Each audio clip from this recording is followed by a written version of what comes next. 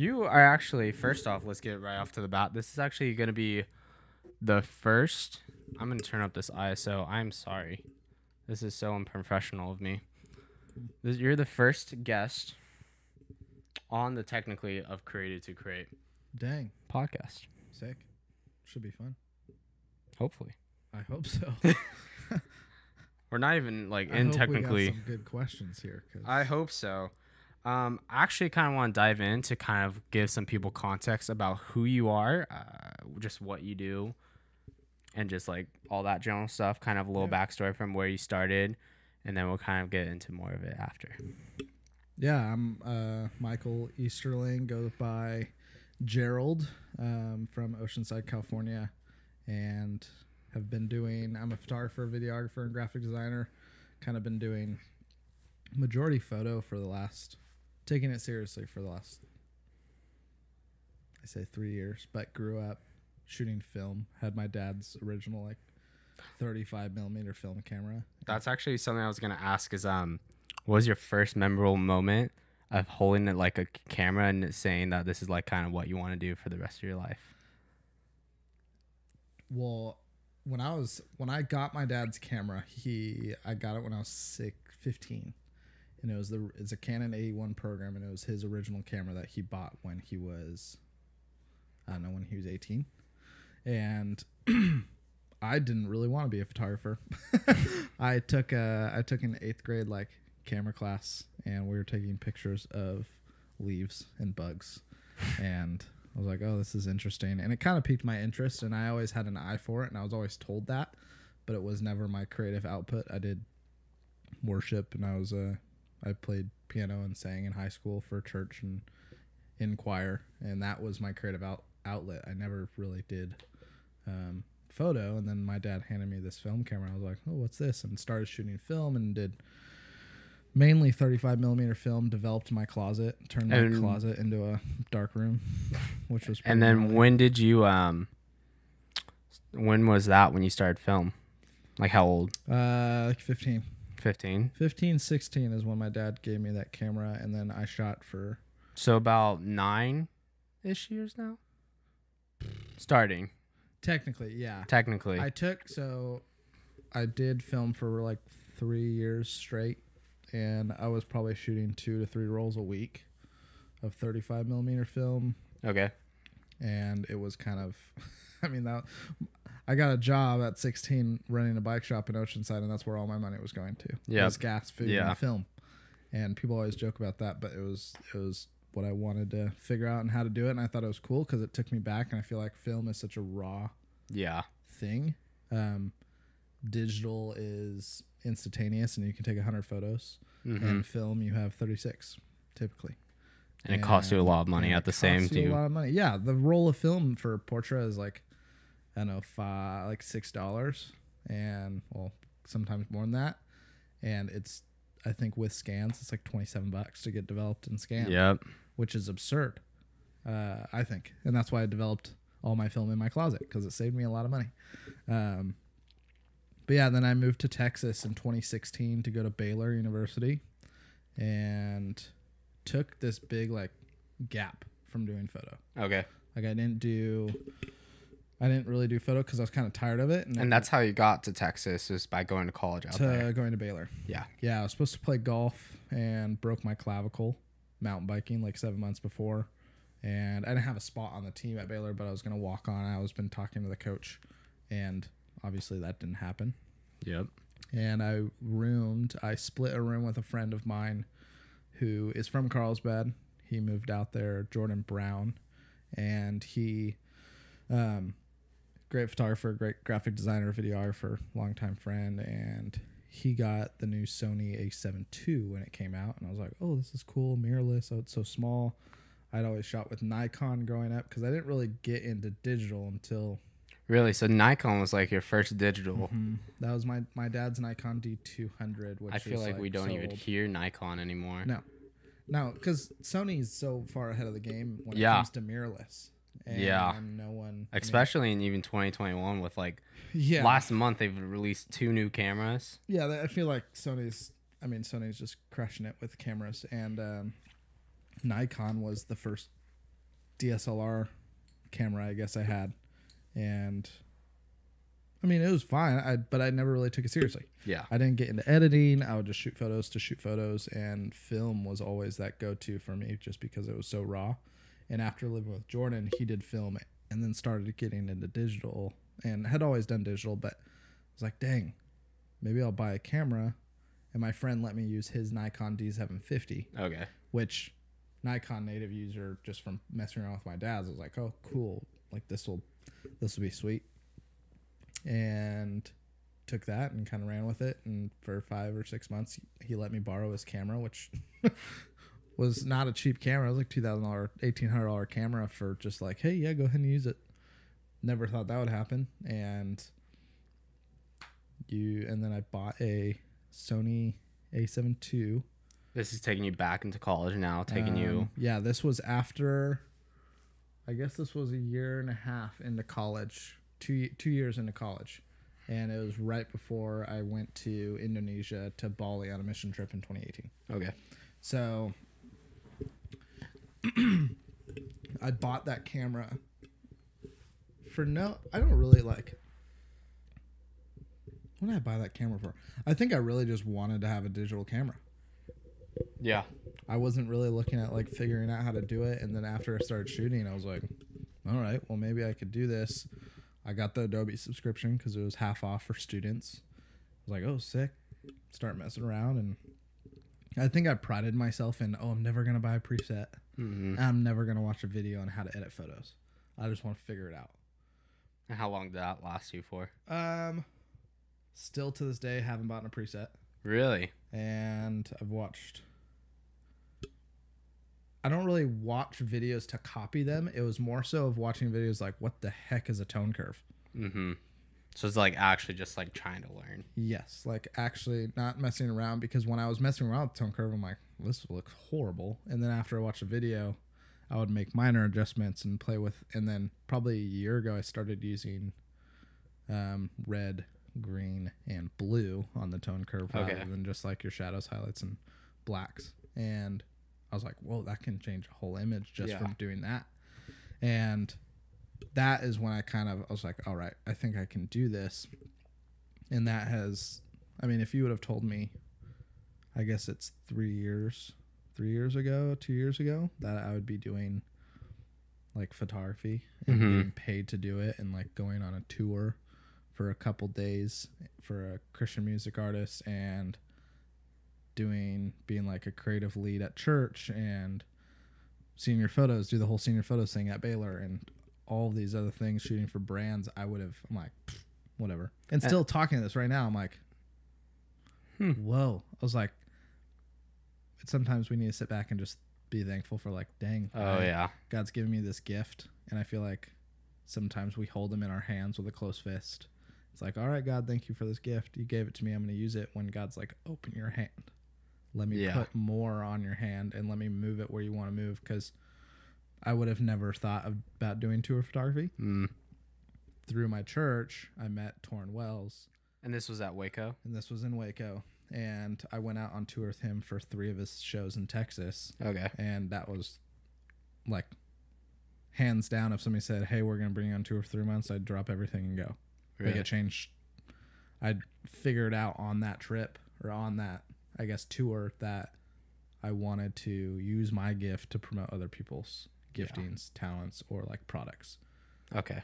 and that was when it was like all right this is what i think i want to do and we'll see what happens i really this year and last year because of covid has really taught me to kind of expand and not hold just photography as oh this is my gift Yeah. Okay. like And what has that been looking like for you with the, the types of different gifts?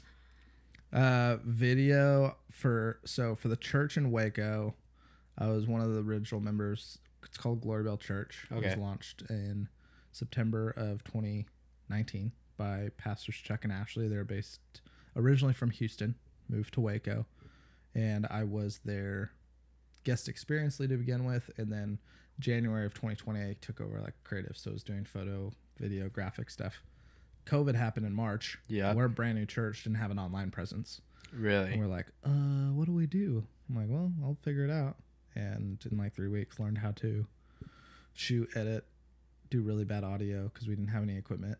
Oh, yeah. So I had to like start ground up. Like, yep, learn how to shoot and log in like two weeks.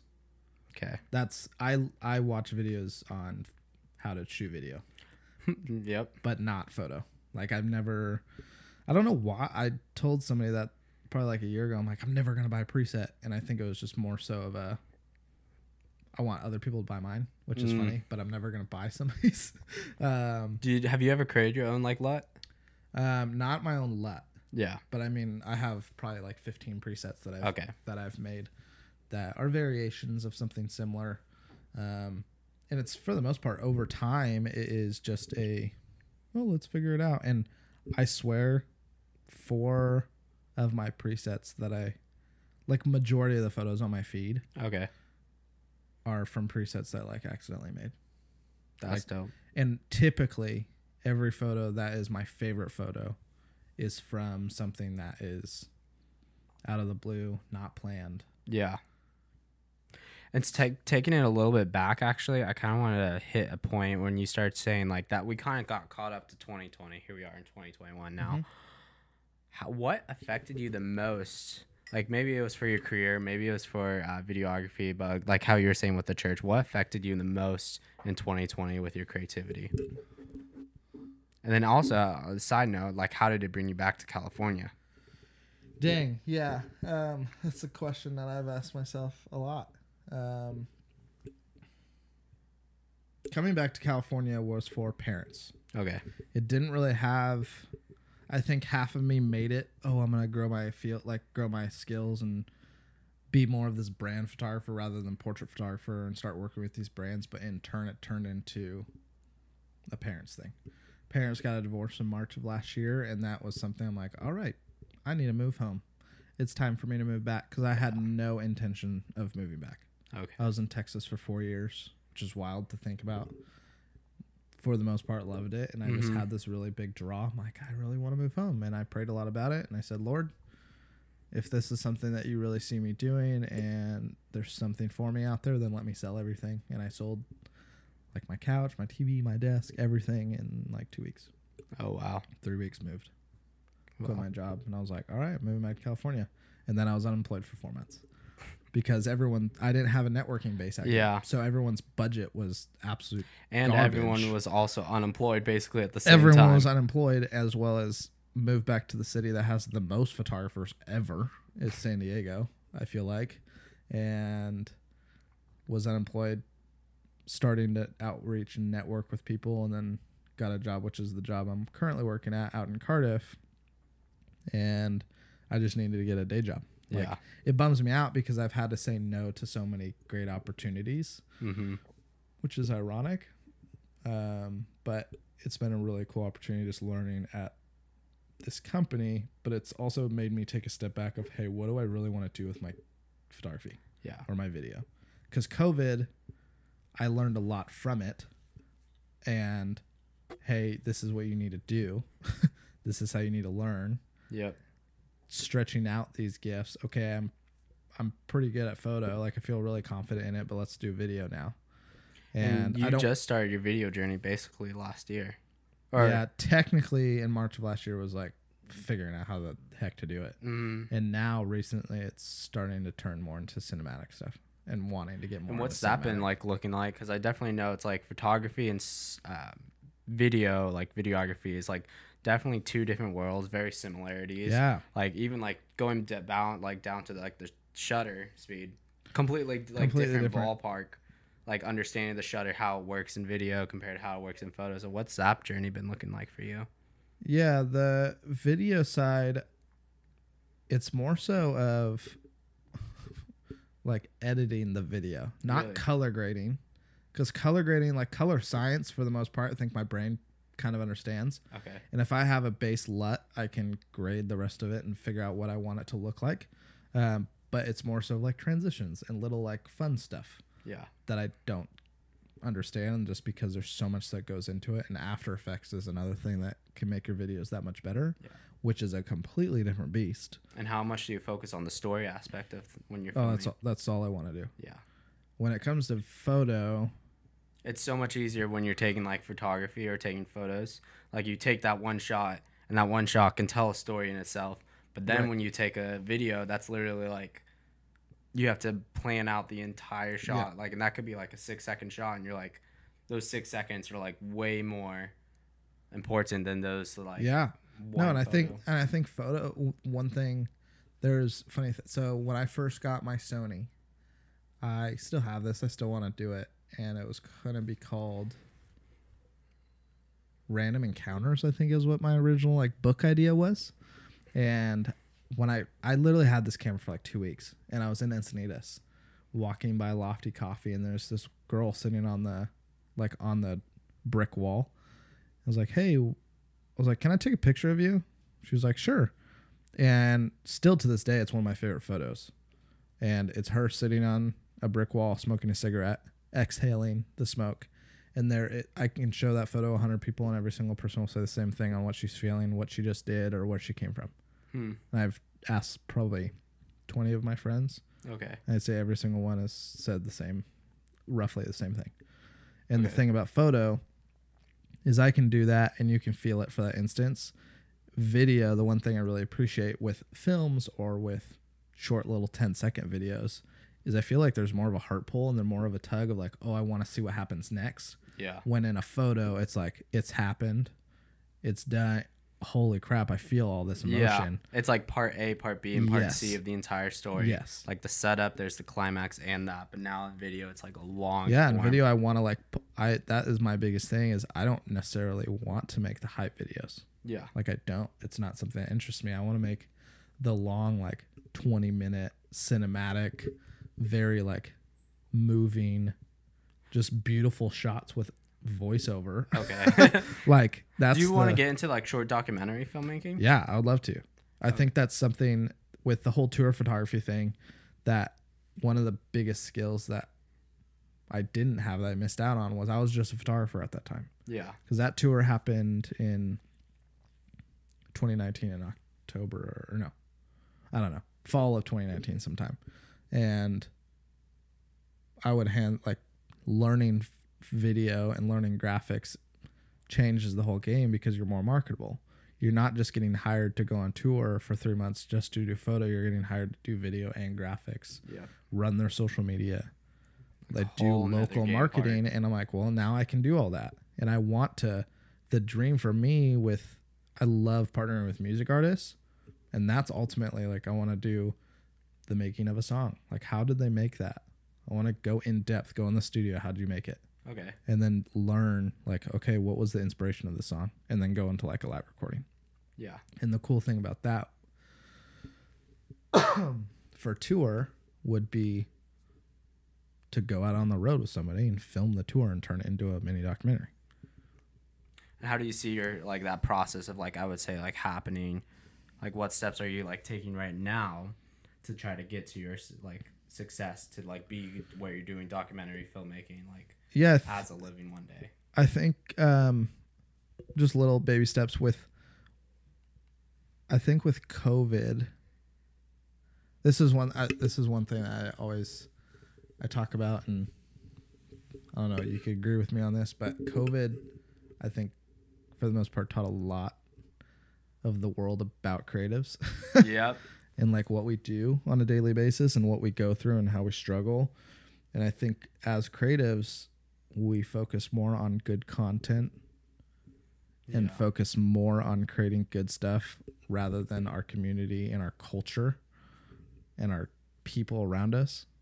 Okay. Like we focus more on creating good content. We kind of left all that. And that was my my saying for this year is let's create more culture over just good content. I you because- posting something about that, talking about like creating like a better culture, creating like Yeah.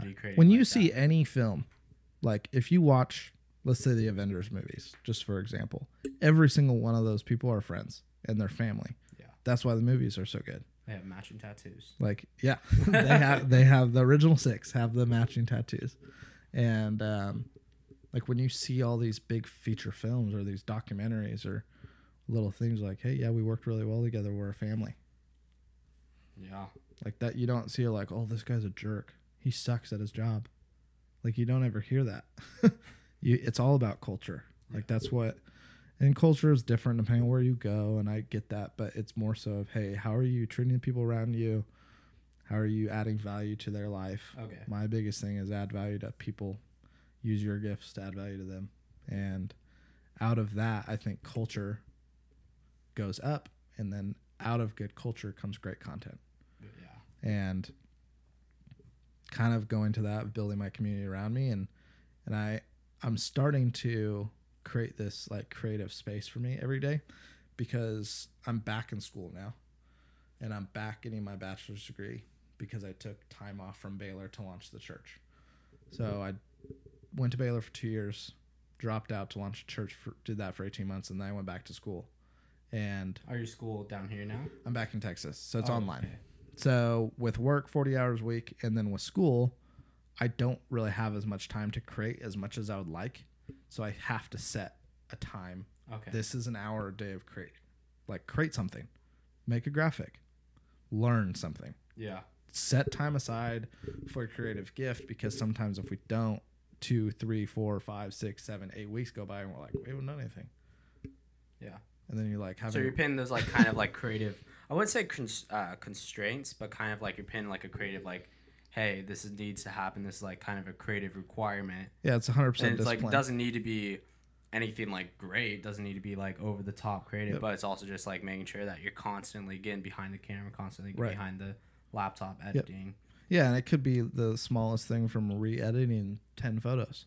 Mm. My favorite photo is just going back and re-editing, just because it gets me in the creative mindset. It helps me escape things around me of oh, I had a crappy day at work. Yeah. Let me get in my gift, and learning from it because I just don't I, I don't want to go another day without like I didn't learn anything today. Mm. I always want to have a learning mindset, and it's all discipline. Like it's all, hey, get in the books, learn about color science. Yeah. My friend Jack and I were talking about color science and how crazy it is. There's so much that goes into color science. People don't realize that you're like, oh my gosh, this is a, I think like a two inch book just full Oh of color gosh, science. yeah. You're like, holy crap. And that is probably my biggest thing for 2021 is culture over content, but also be disciplined in your giftings by setting time aside every day to practice them. And then um, going into actually that, because that was actually a question hitting like, uh, what projects in 2021 you're, you most excited about? Yeah, I hopefully, fingers crossed, tour happens. Okay. Um, Hoping everything reopens. Yeah, who the heck knows? I know Tauren is out on tour with TobyMac right now for the Hits Deep tour. Um, who knows? Tauren, if you ever watch this, make sure and give me a call in August. Uh, um, I love Sh- I mean, the original tour was awesome. Like it changed my perspective, and it was uh, something I was like, "Holy crap! I would love to do this for the rest of my life." Even though it is very, like, it is very difficult living on a bunk for three months. I can't imagine. Like it's it's a lot of work. With the like other people, I'm yeah, assuming there's too. twelve people on a bus. Oh, yeah. Like, and you're living on a on a bunk, and it's People could start bun heads. like But people it's- start butting heads. But and you're a band and you're a family, but it's more so just like you're traveling for three months straight on a bus. Yeah. It's a lot. It's So, not like arguments, but it's more like, yo, did you just take my underwear? like not even that. Yeah, just but literally like, just literally smallest things, huh? yeah. Like you're just tra. I mean, It's just small spaces. everyone knows. Like you go on a vacation with your family for a week, and you're like, I'm gonna murder this person. you're like, I love you guys, but Gosh I dang need- it, Jake! I can't believe you did that Yeah. again. You're like literally, you're like, we've known each other for our whole lives, and I hate you. You're like, sorry, I dislike you a lot. Uh, but yeah, so tour. Hopefully, fingers crossed, tour happens. That would be sweet. But dude, in reality, I really just want to, as I said earlier, like use. I really mean this. Use my gifts to promote other people's, and that is working with music artists to create those videos of them in the studio or them creating music yeah. writing music. Um, I'm a part of this really cool thing called Beach Chapel Sessions, and we hold worship nights on the end of the pier once a month. And the end goal of that is to have every pier in California once a month have a worship night. Mm, and it's a collaboration of creatives. So photo, video, graphic designers, music artists, and we all come together and worship the Lord on the end of a pier. We started with like 15 people, and then went. I think our last one was like 400, Oh my. God. Which is crazy. And I really, the more and more this year goes on, and last year it's like, all right, my space is with artists. Okay. Like that's what I really would love to do, and but it's also my other side of me is I do like product Mm-hmm. like because I find a lot of value in other people adding value to me, and if I can do that to them, like Ashland Hard Seltzer is a local company in Cardiff, Yeah. and I've I'm doing some work for them right now and taking photos, and I told them I was like I don't really care if you post my name or like who I am because that's not what it's about. Like I'm not necessarily out here building my personal brand. If my personal brand is gonna grow, it's gonna grow. Yeah. Like not because of 15 people tagged me today. Because Mhm. Instagram's algorithm sucks. Yep. I was actually just talking to someone recently how Instagram's um, algorithm or just how Instagram works kills creativity. 100. percent It's like what does well on Instagram, what like the algorithm wants is like literally photos that are like so unrelated to like life and 100%. community. Like It's organic marketing is out the roof, and they don't care about good content, and that's what COVID did. Yeah. And imagine like you go on a trip to like some crazy place. You're not taking photos of um, friends. You're not taking photos of family, the food you ate, like the places you saw. You're just taking photos of like the waterfall, Yeah, like the No, and cool drone shot, like the Boehner shots that do good on Instagram. because that's what people. It's all about the hype and being a part of this. Ooh, I got a million subscribers, or and dude, freaking success in the creative world isn't about how good you are anymore, Yeah. and it sucks. And I think what's also interesting though is like when you do talk about a lot, like I feel like definitely photographers and mm-hmm. videographers in the creative world who like sure become an influence. Like Yeah. for example, Peter McKinnon, Yeah. huge name, Yeah. but I bet if he like didn't have the million subscribers, he'd still be Yeah. posting the same stuff because he loves to do it. Yeah, and that's that was my thing is is it really shows through your like how much you love your craft. And that is something that through end of last year I kind of got burnt out a little bit and I feel like a lot of creatives did because we had to produce so much because we knew people were going to sit on their couch and look at their Yeah. phones. And I think there was this big rise of great content and then there's this dip oh, of not anything, which I knew I was a case of that because I was doing church stuff for four months because the pandemic happened, and then I went to like this plateau of like I'm not producing anything, and then everything started going back up, and now there's content coming out. I'm like, what the heck is going on? Yeah. Like this content is crazy, Mm-hmm. and it's great, but there's so much of it now, Yep.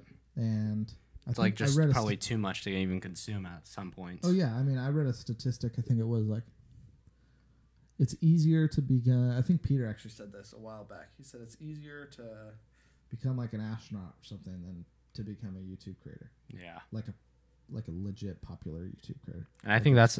I think it's also interesting. On the same note though, I think a lot of platforms, not including YouTube, Mm-hmm. are realizing the importance of the middle class creators.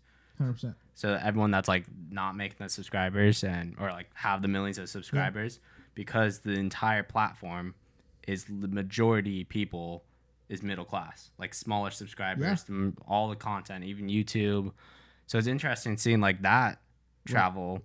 Um, Well, yeah, and I think a lot of people don't out like don't undercut competition because then you're just screwing all the people over. yeah. that actually do this for a living.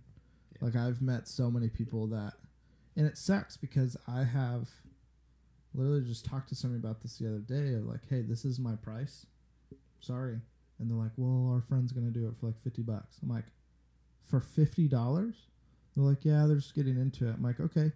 And that right there is everyone is starting to get into this creative field, and when Mhm. you're not, it's like, hey, you do pay for something. Like you do pay for this expertise. Can you press you record on my that? camera? Oh. Sorry. Hard cut. Well, i am sorry to everyone who's listening for that noise, eh? And then everyone who's watching Oh yeah, sorry guys. for Forgot about that playing noise. with The noise. Uh, You're just like, I don't know what I was saying, but in turn, it was. Uh, I was ta- oh, don't undercut like. don't really- undercut creators. Yeah, it really bums me out. People are people are saying, "Oh yeah, I can do it for free. I'll hook it up." Like I lost a wedding for that. I shot random proposals out on the pier in San Clemente at a beach chapel session. Mm-hmm. And guy was like, "Oh yeah, dude, like I'm definitely interested. Let me know." And then his cousin and said, "Hey, yeah, I'll shoot it for free." Yep. And like I'm all for it. Like if it was me, I'd probably save money too. Yeah. Like that sounds dumb to say, but it it's a bummer because more of that is happening, and it's taking away this business from. And so many people- want to get into this industry too, which makes it even so much harder. Yeah, That's actually kind of one of my last questions is actually talk about Mhm. um, what do you think it takes to make it in this industry, and whatever industry this is, creative. freaking luck. uh, there's a little bit of like five percent of that, but no, dude. I think it really, um, you can be the most talented photographer ever, yeah. the most talented videographer ever, but if you're like a butthole and you don't have good community and you don't have a good network of people around you and you don't treat people well and love on people well, you're not going to get hired. Yeah. And I think so many people get hired based off their personality and how they work well with others rather than their skill set.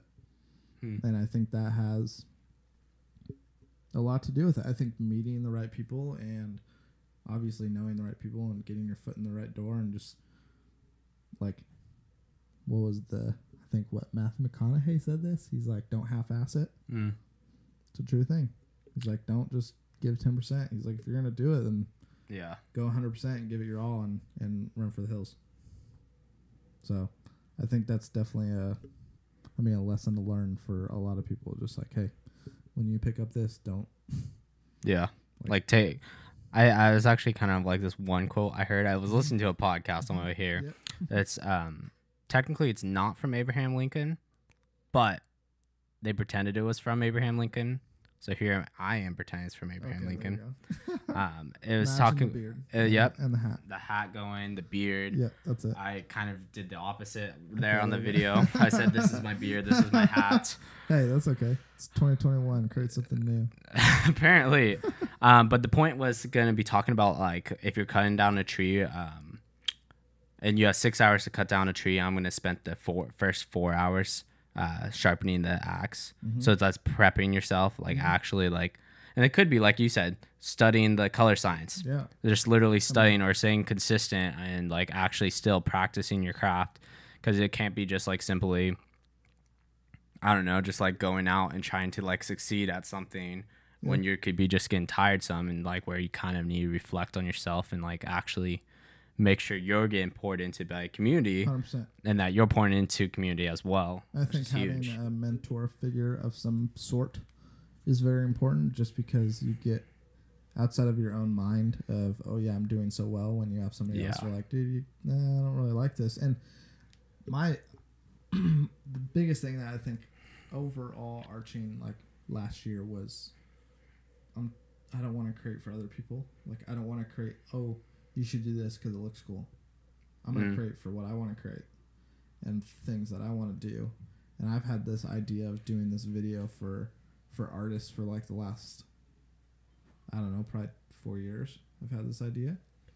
And other people have done it, sure. yeah But I've realistic I'm like I want to tell a story through no one knows what artists go through to write a song. yeah Like no one does except artists except artists. And that's why I was like, okay, well, let's see what happens. And I think 2021 is going to be a good one for a lot of people. And I think in the end, it's like stay disciplined, learn something new every day, and and kind of wake wake up with thankfulness. Just be like, all right, Lord, thanks for this gift, because it ain't mine. yeah You can take it away, and here's my hand opened with it sitting right there. Use it the way you want to use it. So cool glory to God. Roll that outro. Uh, that's where today's video is going to be coming to an end. It was honestly such a great time spending with Michael and just getting to know him and getting to know his passion and how he got started in his craft. If you are excited to see more of these episodes, you definitely should try to leave a rating. It helps the show out and helps the podcast for more people to discover. And until next week or the next one, I'll see you then.